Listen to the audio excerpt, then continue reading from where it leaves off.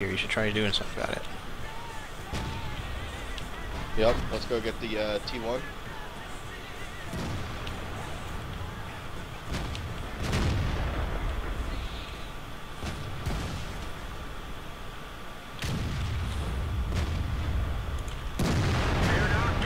I did just shoot that tank from underneath your tank. Did you really? Yeah, I aimed between your tracks and was able to hit him